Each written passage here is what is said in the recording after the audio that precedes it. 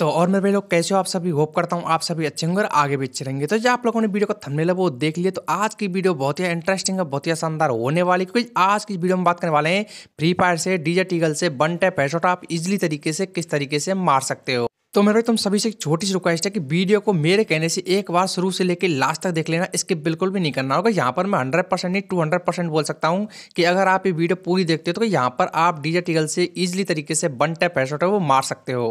क्योंकि यार देखो, ये बात तुम सभी को पता है कि आजकल डीजे टिगल से वन टैप हेडशॉट हर कोई बंदा मारना चाहता है। और भाई, आप में से बहुत सारे बंदे ऐसे भी होंगे जो कि डीजे टिगल से वन टैप हेडशॉट मारने का ट्राई तो करते हैं, लेकिन उनका वन टैप हेडशॉट है वो नहीं पड़ पाता यानी कि कई कई बार क्या होता है कि तुक्के में आपका हेडशॉट है, वो लग जाए तो ठीक है अदरवाइज़ अगर आप रियल और जेनुअन तरीके से हेडशॉट मारोगे तो वो आपका नहीं पड़ेगा लेकिन भाई, यहाँ पर आज मैं बताने वाला हूँ कि फ्री फायर के अंदर आप रियल और जेनुअन तरीके से वन टैप हेडशॉट किस तरीके से मार सकते हो। तो क्या यहाँ पे मैं वीडियो को स्टार्ट करूँ? उससे पहले इस वीडियो में हंड्रेड डायमंड का गिव अवे चल जाएँगे आप में से किसी भी एक रेंडमली बंदे को मेरी तरफ़ से हंड्रेड डायमंड है, वो दी जाएँगे। तो आपको सिंपली गिव में पार्टिसिपेट करने के लिए कुछ नहीं करना है।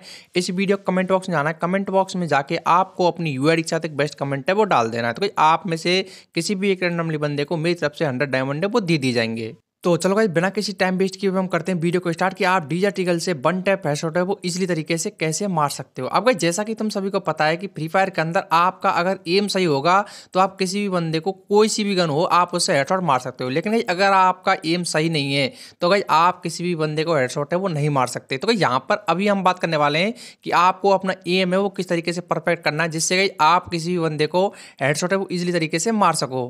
अब भाई, आप में से बहुत सारे बंदे तो समझ गए होंगे कि एम क्या चीज़ होती है, लेकिन ये बहुत सारे बंदे ऐसे हैं जिन्होंने अभी अभी न्यू फ्री फायर स्टार्ट किया है खेलना, वो समझ नहीं पाए होंगे कि अपना एम है वो किस तरीके से ठीक करना है। पर आप में से बहुत सारे ओल्ड प्लेयर भी ऐसे होंगे जिनको ये नहीं पता कि अपना एम है वो किस तरीके से ठीक करना है। तो भाई, यहाँ पर मैं आपको एग्ज़ाम्पल देकर समझाने वाला हूँ कि आपको अपना एम है वो इस तरीके से ठीक करना है। तो चलो भाई, अभी हम बात करने वाले हैं कि आप अपने एम को किस तरीके से ठीक कर सकते हो। उसके साथ ही गए यहाँ पर आपको अपना एम है वो कहाँ पर रखना चाहिए। तो भाई, यहाँ पर मैं पहले आपको एक एग्ज़ाम्पल देकर समझाना चाहता हूँ तो इसे थोड़ा ध्यान से समझना। तो यहाँ पर मैंने अभी ले रखी है एम टेन फोर्टीन अब भाई एम टेन फोर्टीन को जब मैं स्प्रे करता हूँ अपने दीवार के अंदर, जैसे कहीं मांग चलो आपका ये सामने एनेमी है, ठीक है? अगर आप इस पर फायर करते हो तो उस टाइम पर अपने एम को देखो, वो कितना चौड़ा होता जाता है। लेकिन कहीं डीजे टिकल के साथ ऐसा नहीं है।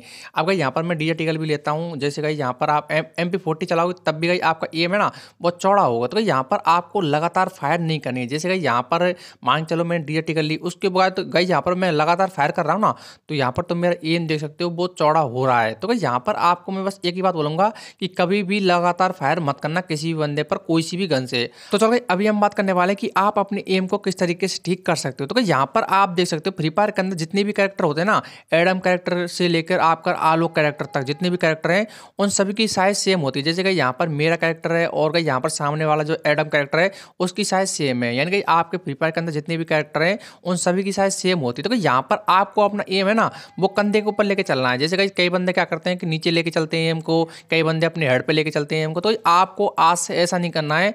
आपको जो अपना एम है ना, वो कंधे पे लेके चलना है। अब भाई, इससे क्या होगा कि अगर आपका एम कंधे के ऊपर रहेगा तो सामने वाले एनेमी के भी, वो कंधे के ऊपर ही रहेगा। तो जैसे ही आप हल्का सा ड्रैग करोगे तो कंधे से हटके एम कहाँ पे चला जाएगा? हेड पर। अब भाई देखो यहाँ पर मैंने आपको दो बात बताई पहली बात तो कही आपको लगातार किसी भी बंदे पर फायर नहीं करना है। दूसरी बात कही आपको अपना ई है ना, वो अपने कंधे के ऊपर लेके चलना है। यानी कि आपको हमेशा ये नहीं रखना कि मेरे को अपना ई है, वो हेड पर लेके चलना है तो सामने वाले बंदे को हेड ही पड़ेगा। क्योंकि अगर आपका एम हेड पर रहेगा तो अगर आप थोड़ा सा ड्रैग करोगे तो आपकी जो हवा में फायर हो जाएँगी, या फिर आपकी जो गन है ना, वो रिकॉल खा जाएगी। तो चलो भाई, अभी हम बात करने वाले हैं नेक्स्ट टिप्स एंड ट्रिक की। तो भाई, यहाँ पर तुम सभी से पहले मेरी एक रिक्वेस्ट और है कि अगर आपको यहाँ तक वीडियो थोड़ी सी भी पसंद आई हो, मेरे भाई, अगर आपने अभी तक वीडियो को लाइक नहीं किया है तो नीचे की साइड देखो, एक लाइक वाला बटन आपको दिख जाएगा। पास में एक सब्सक्राइब वाला बटन होता है तो आपको सिंपली इन दोनों पर टैप कर देना यानी कि आपको सब्सक्राइब करके बेल नोटिफिकेशन को ऑल पर सेट कर देना है।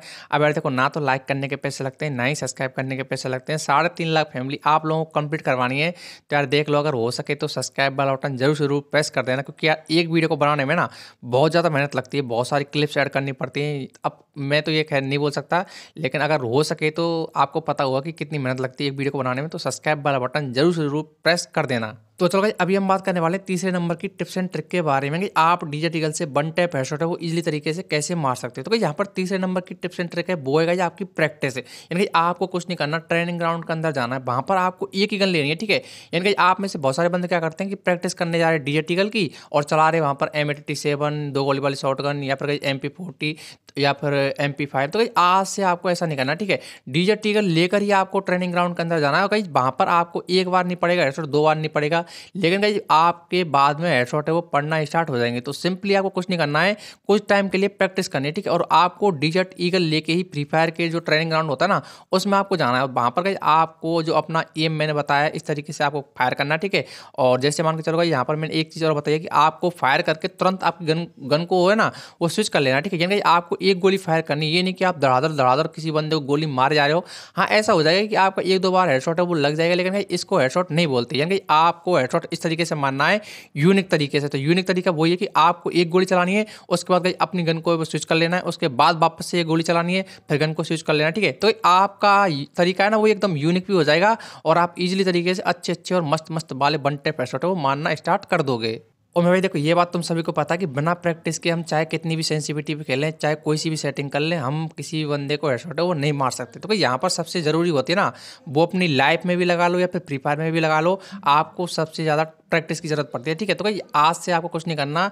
कुछ टाइम के लिए, एक या दो घंटे के लिए, फिर पंद्रह, बीस मिनट के लिए आपको ट्रेनिंग ग्राउंड में जाना है और वहाँ पर आपको डीजे टीगल से प्रैक्टिस है, वो करनी है। तो भाई, आज की वीडियो में बस इतना ही बोलूँगा। हो सके तो सब्सक्राइब बटन ज़रूर ज़रूर प्रेस कर देना। भाई, साथ में आपसे एक बात और मैं बोलना चाहूँगा कि अगर आपको ये वीडियो अच्छी लगी हो तो भाई, इस वीडियो को अपने WhatsApp group Instagram group Facebook group जो कुछ भी तुम चलाते हो, सभी जगह जाके इस वीडियो को शेयर करके आ जाना और अपने दोस्तों को बोलना कि, खूनी गेमर्स हमारा यूट्यूब चैनल जाके सब्सक्राइब करो। तो भाई, कहीं ना कहीं पर फैमिली वाली फीलिंग आती है तो सब्सक्राइब बटन ज़रूर ज़रूर प्रेस कर देना। पास में रखे बेल नोटिफिकेशन को भी ऑल पर सेट कर देना। जितना जल्दी हो सकता है, उतना जल्दी साढ़े तीन लाख फैमिली वो आप लोगों को कंप्लीट करवानी है। तो मेरे को नहीं पता आप कैसे कंप्लीट करवाओगे, चाहे शेयर करो, चाहे कुछ भी करो, लेकिन साढ़े तीन लाख फैमिली वो कंप्लीट हो जानी चाहिए। तो अभी के लिए बस इतना ही बोलूँगा।